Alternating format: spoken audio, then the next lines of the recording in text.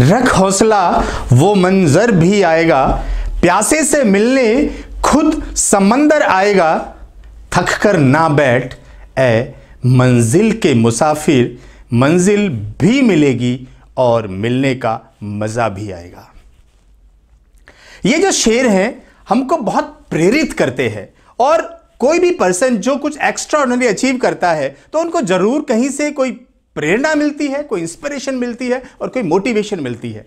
Motivation ऐसे तो एक वैग शब्द है मोटिव विद एक्शन लेकिन हम ऐसा क्या वन टू थ्री करें कि हमको शॉर्ट शॉर्ट सफलता मिल जाए?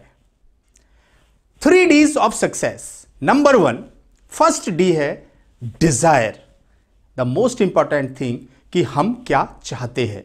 सफल आदमी वही है जिसकी कुछ डिजायर्स है। अगर आप देखें डिजायर्स का जो ट्रिगर है, वो हमारी एक चाह है और चाह कैसे हमारी बनती है? जब हमारी इमेजिनेशन पावर अच्छी होती है।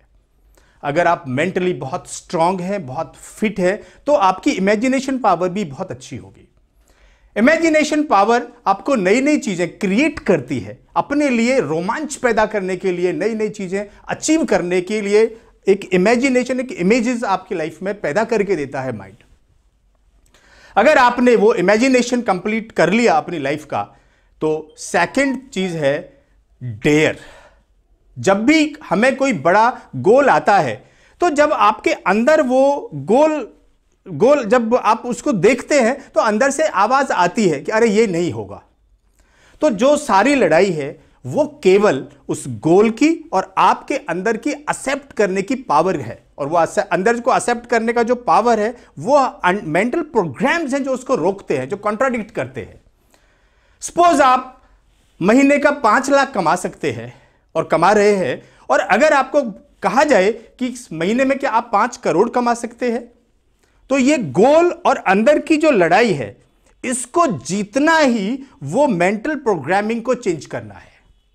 अगर ये मेंटल प्रोग्रामिंग चेंज कर दी तो नया गोल आपका, और नहीं चेंज हुई तो ये गोल यहीं पर इसकी मृत्यु हो जाएगी।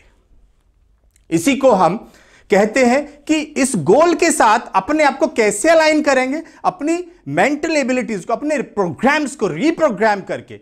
और हमारी अंदर से वो एक्सेप्ट हो गई। और इसको सिंपल इस तरह भी हमने समझा है whatever your mind can conceive that you can achieve इसका मतलब यह है कि माइंड ने कॉन्शियसली एक प्रोग्राम तो बनाया, एक पिक्चर बनाई हमारे लिए, एक गोल बनाया, लेकिन अंदर से अगर वो एक्सेप्ट नहीं हो किया हमारे बिलीफ सिस्टम ने तो ये अभी की अभी खत्म हो जाएगा। एंड थर्ड थिंग जो सीक्रेट में सब लोग जिसको मिस करते हैं कि हमने डिज़ायर कर लिया, अपनी मेंटल फैकल्टीज को यूज़ कर लिया किसी भी चीज़ को अचीव करने के लिए अट्रैक्ट करने के लिए mind has the power to attract anything कुछ भी हमने अट्रैक्ट करने के लिए सोच लिया, लेकिन केवल अट्रैक्ट करने से वो चीज़ हमारे पास नहीं आएगी जब तक हम एक्शन नहीं लेते, उसकी प्रॉपर प्लानिंग नहीं करते और उसको अचीव करने के लिए वन टू थ्री एक एक स्टेप पूरा नहीं बनाते कि कैसे कैसे एक्शन होगा, कैसे उसके रिसोर्सेज होंगे।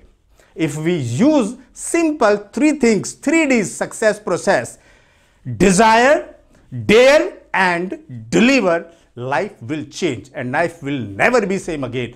Mind has the ability to create anything and to achieve anything. ईश्वर ने आपको इस यूनिवर्स की सबसे अद्भुत चीज़ दी है और जिसका नाम है माइंड। माइंड पावर को यूज़ कर कर अपना जीवन बदल सकते हैं और औरों का जीवन बदल सकते हैं। If you use the step life will change and life will never be same again thank you so much